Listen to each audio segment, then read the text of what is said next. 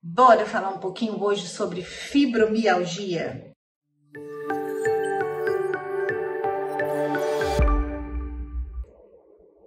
Chatinha, né, essa síndrome?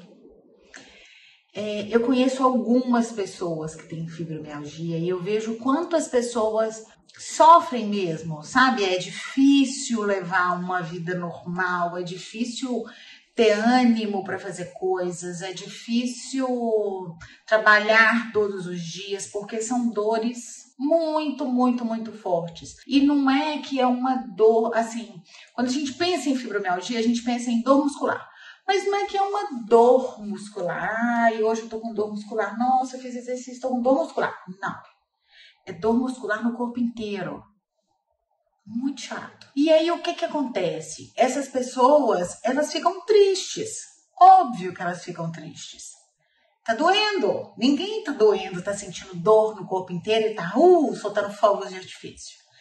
Então, isso é uma, é uma doença pesada, né? Para a pessoa viver com ela, conviver com ela, aprender a administrá-la. E quando a gente pesquisa a respeito de fibromialgia, fala-se muito só sobre a dor e ponto. Porque realmente é o que chama mais a atenção das pessoas.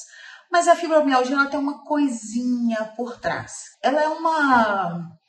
Quando a gente fala de ser síndrome, é porque não é uma coisa que é pior ou melhor do que outra, não. É porque ela tem, ela acomete vários, várias partes da, da vida, vamos dizer assim. Tipo, uma pessoa com fibromialgia, ela provavelmente vai ter uma fadiga, né? Aquela coisa, aquele cansaço, aquela pessoa que ela se arrasta porque tá doendo, tá? O músculo, além da dor, ela ainda está exausta fisicamente. Então, tem fadiga, tem distúrbio do sono, porque a pessoa, oi, tá doendo, não dorme bem, não passa o dia bem, entendeu? Então, ela tem fadiga, ela tem distúrbio do sono, provavelmente. Provavelmente ela tem distúrbio intestinal, ansiedade e depressão. Isto é uma. São cinco características de uma pessoa com fibromialgia, fora a dor muscular. Pensa, que chato. É, mas o que, que acontece? O que, que se descobriu? Fala-se ainda muito pouco sobre fibromialgia, mas estamos falando cada vez mais né, dessa coisa. E aí, é, os médicos fizeram um link muito interessante com inflamação do organismo, emocional e dor. Essas três. E na hora que você pensa nas cinco características de uma pessoa que uma pessoa com fibromialgia provavelmente tem essas cinco características, você pensa nisso. Primeiro, é uma inflamação crônica. Crônica é uma inflamação. Quando você fala crônica, não é aquela coisa que, tipo assim, ai, tô com uma dor no ombro, meu ombro inflamou. Ele vai melhorar e você não vai sentir mais essa dor. Não. A fibromialgia é uma inflamação crônica. Hoje dói, amanhã não dói, mas depois de manhã dói, depois dói também. Tem essa coisa de ser crônica, de você ter que conviver com aquilo. Tem cura? Não. Tem controle? Sim. Essa é uma boa notícia. E aí, quando os médicos fizeram esse link de inflamação emocional e dor, eles perceberam que quando a pessoa tá com dor, ela fica triste. Quando ela fica triste, ela, tá, ela dói. Entendeu? Então, assim, um dos pontos da fibromialgia é dar suporte para o emocional. Quanto mais a gente conseguir um emocional equilibrado, provavelmente menos starts na crise a gente vai ter. Não é que é uma doença de fundo emocional, não. É uma doença que o emocional dá o start na crise da dor, entende? Então, se a gente consegue controlar o emocional, a gente vai ter crises mais espaçadas ou crises menos dolorosas. Do mesmo jeito, a inflamação do corpo. A gente já sabe que o intestino está muito ligado na inflamação do corpo. Então, se a gente consegue tratar o intestino, a gente vai ter menos distúrbios intestinais, que é uma é uma característica das pessoas que têm essa doença. E aí a gente vai ter menos dor, consequentemente. Então a gente tem que pensar nessa inflamação também. Menos inflamado, você dorme melhor. Dormindo melhor, você tem um dia melhor. Se você teve uma boa noite de sono, o seu dia vai ser melhor. Consequentemente, do mesmo jeito, todavia, vai e vem, se você tiver um dia ruim, a sua noite tende a ser uma noite ruim. Mesmo que você bata na cama e durma, pode ser que você não tenha um sono reparador. Então, o que, a gente vai pensar? Quando a gente pensa em fibromialgia, a gente tem que pensar em mudança de hábito. Primeira coisa, não adianta querer usar óleo essencial para tratar a dor da fibromialgia se você não dá uma mudada no seu estilo de vida. Sono, ok, uma pessoa com fibromialgia tem uma dificuldade de começar a dormir e ter uma dificuldade de manter o sono reparador. A gente pode sim usar óleo essencial que vai ajudar, a gente tem inúmeros casos que vão ajudar, mas a gente tem que dormir mais cedo. A gente tem que parar de mexer no celular antes de deitar na cama. A gente tem que usar óleo para ansiedade durante o dia, porque aquela coisa, um dia bem vivido vai ser uma noite bem dormida. É, então a gente tem que pensar nisso. Exercício físico, por mais que você sinta dor, eu falo com uma amiga que tem fibromialgia, eu falo assim, aqui ó, não vou conversar com você agora. Agora você vai dar uma volta. Vai fazer uma caminhada. Ela fala, não, mas está doendo demais. Eu falo, não interessa, vai uma, uma volta no quarteirão. Uma volta no quarteirão. Vai. Aí no outro dia você dá uma volta em dois quarteirões. E aí vai sucessivamente. Exercício físico, a gente sabe que é remédio tanto para músculo como para cachola. Então, tem que ter. alimentação mais saudável. O que, que, acontece? Hoje em dia a gente come muita porcaria, a gente come muita comida pronta, a gente compra muita caixa no supermercado com comida. Não é isso. Uma pessoa com uma inflamação crônica, ela tem que ter uma comida mais natural. A alimentação dela tem que ser uma alimentação mais natural. Então, aquele velho clichê. Velho não, é novo, mas tá quase saindo de moda, né? O povo nem fala isso mais. Desembale menos, descasque mais. Mas é. Melhor coisa que você vai fazer para a sua saúde. Tá bom. Fez isso tudo. Vamos então agora ver o que, que a gente pode usar de óleo para ajudar nisso tudo. Primeiro, uma pessoa com fibromialgia, eu acho que ela nem pensa em não ter um acompanhamento médico, porque é tanta dor que tem que ter um médico. E esse médico, quando você optar por usar o seu óleo essencial, você tem que dizer para o médico: olha, Doutor, doutora, estou usando óleo essencial, estou usando isso, isso e isso, beleza? Tranquilo. O que, que a gente vai fazer então? Os óleos vão ser um tratamento coadjuvante. Do mesmo jeito que, não, exercício, alimentação, sono, não, sono, é tratamento de verdade. Agora, os óleos vão entrar como tratamento coadjuvante. Nunca deixe de tomar os remédios que seu médico mandou para trocar. Tipo, nunca deixe, ah, eu vou parar de usar esse remédio alopático porque eu vou usar óleo essencial. Não é assim que funciona. Você vai falar com seu médico que você vai querer usar o óleo essencial, que você vai começar, o que você já começou, e ele vai falar: beleza, continua. Com o passar do tempo, você vai perceber que você vai precisar menos do remédio alopático. O seu médico vai perceber que você vai poder diminuir a dose. E isso aí é uma decisão em conjunto de vocês dois. Tranquilo? Vamos começar então. Durante o dia, o que, que a gente pode fazer? A gente pode usar lavanda para inalar na palma da mão, para ansiedade. A gente pode usar balance, a gente pode usar adaptive, tudo isso inalado durante o dia. À noite, o que a gente pode fazer à noite? À noite a gente pode colocar, sempre colocar brief no, no difusor, porque o brief, existem estudos que o brief, como ele ajuda você a respirar melhor, você consegue relaxar mais e ter um sono de qualidade. Outro ponto também é que quando você respira melhor, você tem menos ansiedade. Percebe que quando a pessoa está com crise de ansiedade, a primeira coisa que ela faz é enairecer as ventas. Os narizes ficam desse tamanho. Aqui, ó. Olha. Aquele nariz ali foi efeito, tá, gente? Não é meu, não. Efeito que colocaram na câmera. Pois é. Então, quando você respira melhor, você tem menos ansiedade. Então, sempre colocar o brief à noite sempre no difusor. Turmeric é uma excelente opção. Cúrcuma, que é o, o turmeric, é uma, um condimento que é excelente para antioxidação, para inflamação do organismo. Então, você também usando ela inalada, ela vai te ajudar nessa, nessa infecção, vai diminuir, né? Essa inflamação do corpo. Infecção não, inflamação. Excelente, adoro, adoro, adoro. Lemongrass, adoro lemongrass para dormir. E aí, por aí vai. Pode colocar o lavanda que você usou durante o dia, pode colocar o balance, pode colocar o adaptivo. A gente tem N óleos que a gente pode usar e você pode ir testando. Pode misturar também um com o outro e vai fazendo sua misturinha. É, então, falamos de dor, de sono. Aí, a gente vai falar agora de intestino. Um óleo super simples que é show de bola para intestino. Peppermint.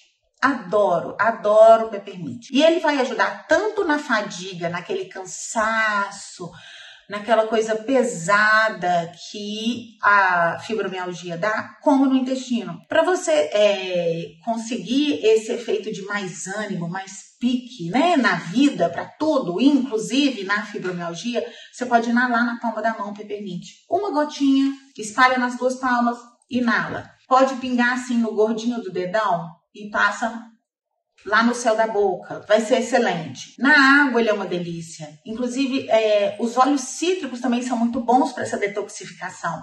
Então a gente pode colocar peppermint com lemon. Ótimo. Tem um, um, um blend, ele estava aqui em cima da minha mesa, mas guardei, que é o Sunny Citrus. Ele é limão, laranja e peppermint. Gente, é muito bom. É muito bom. Dá para você colocar na água, fica uma delícia vai ajudar no intestino. Você pode só passar o peppermint no intestino, embaixo do umbigo, ali na região do intestino mesmo.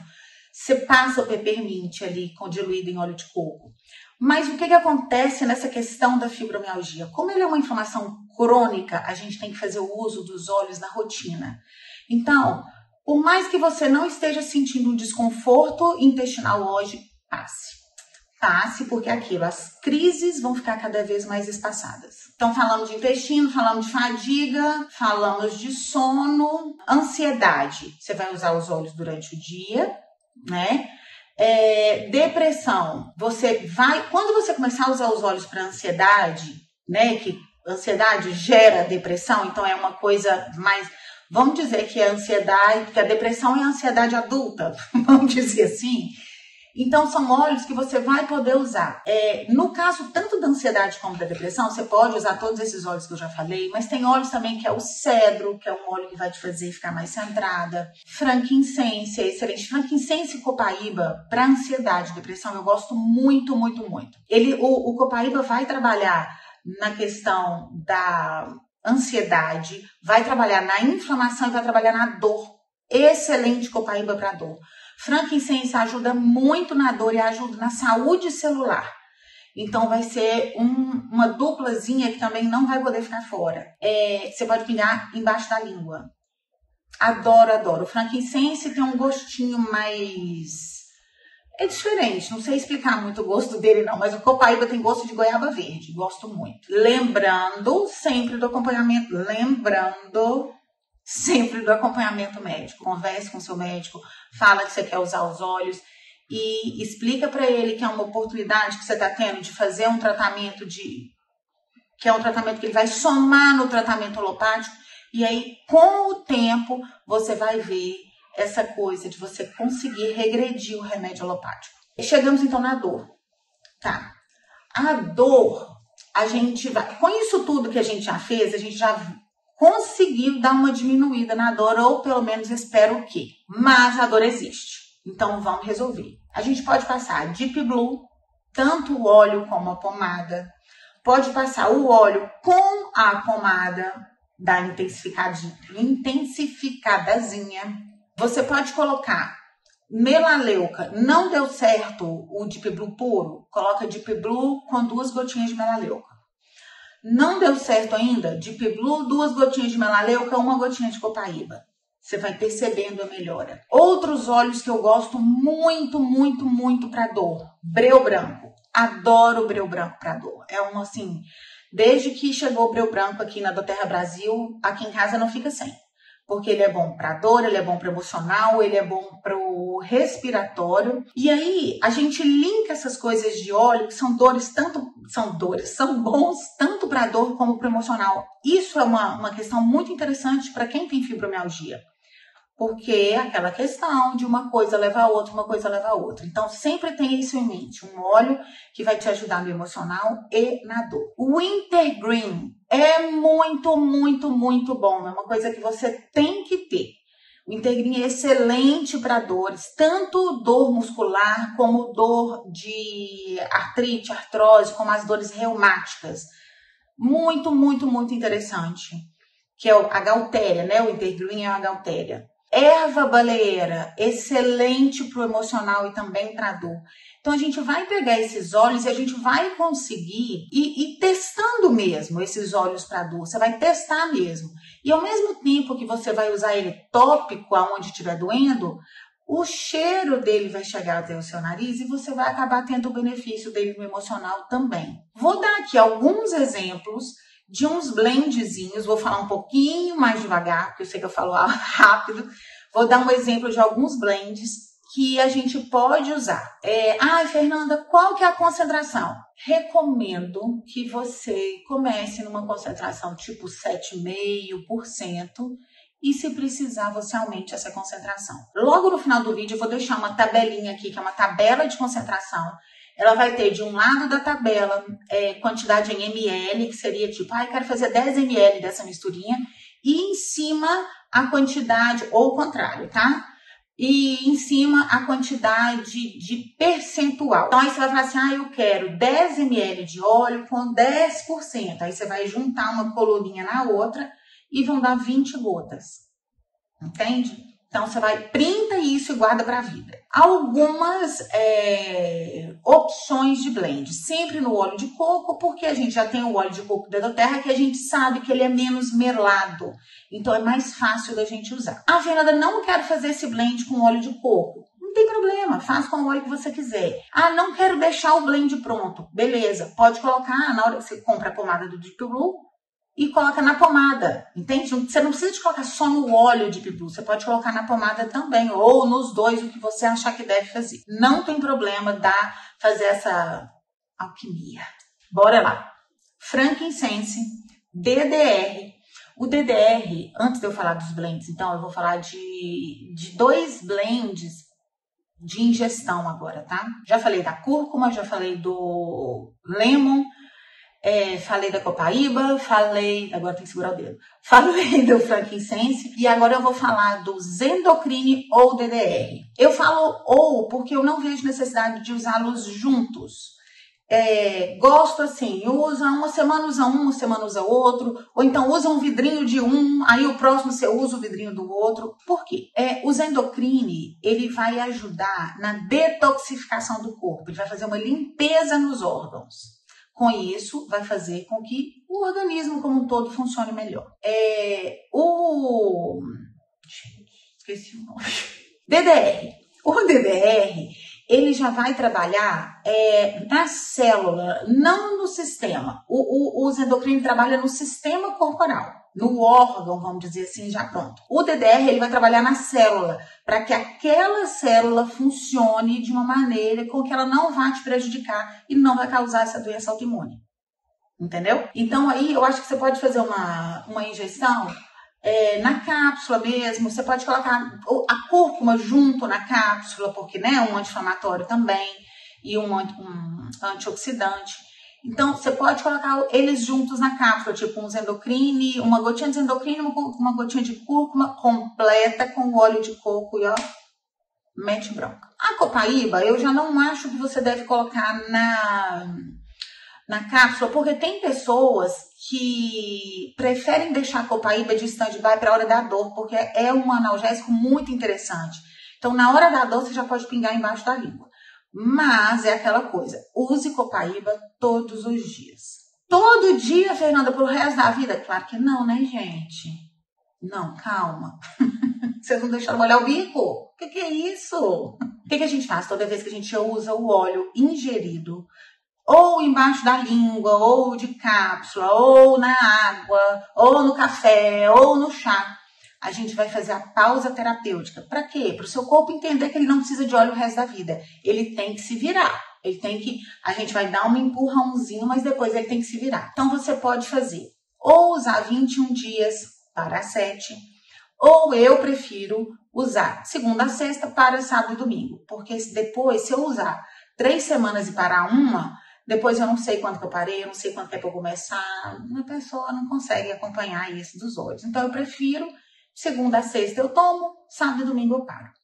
Vou falar agora um pouquinho a respeito dos blends usados, tópicos para dor, especificamente para dor. Olíbano, DDR, copaíba, Deep Blue e orégano. É uma coisa muito interessante, gente, orégano para dor. Eu adoro orégano para dor. Orégano para dor de cabeça para mim é a melhor coisa que existe. Para mim é melhor do que peppermint, melhor do que Deep Blue, é a melhor coisa. Orégano para dor é muito interessante.